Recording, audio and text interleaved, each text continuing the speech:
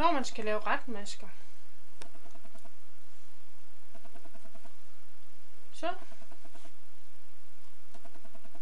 sætter man i sin maske den ene pind ind og tager omkring sit garn. Og viser den igen. Går ind forfra i en maske, går omkring den og tager den herinde imellem. Og her. Og her. Min mor, hun sagde tidligere med, at man skulle gå ind ad døren, tage sit hasteklæde på og gå ud igen. Gå ind ad døren, tage hasteklæde på og gå ud igen.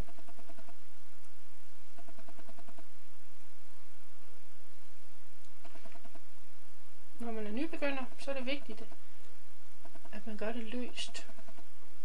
Men ikke have det for stramt. Hellere for løst end for stramt.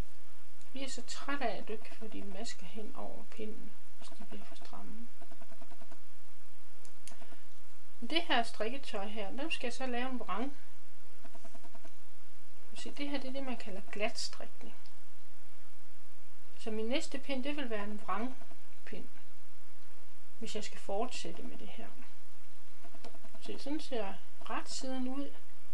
Og den, den, den teknik, som jeg har her, ikke, hvor du så laver vrangmasker på, på den her side, og retmaskerne der, det hedder glatstrikning. Hvis man nu bare laver retmasker hele tiden, så det vil egentlig sige, at jeg her på min, min vrangside laver en ret pind. Gør det lige lidt hurtigt.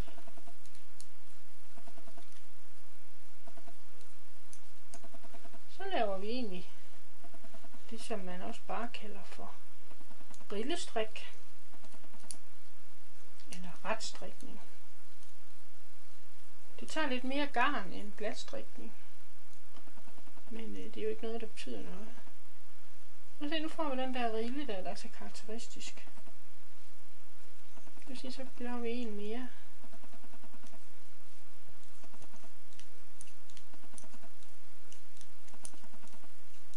Kører vi lige lidt hurtigere her.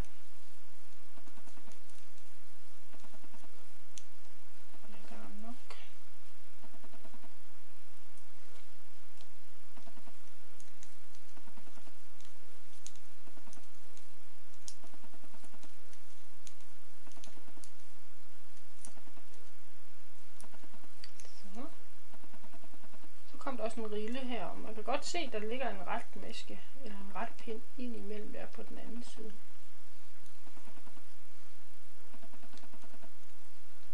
Så laver vi lige en ret pind mere. Så det vil sige, at på ens ret side nu, hvis vi stadigvæk kalder den anden side for en ret side, så er en rille faktisk lige med to pinde, altså en frem og tilbage pind. Nu har vi lavet to ret pinde her på, og en, to på den anden side også, hvis vi tæller her. Så det vil faktisk sige, at nu har vi strikket fire her.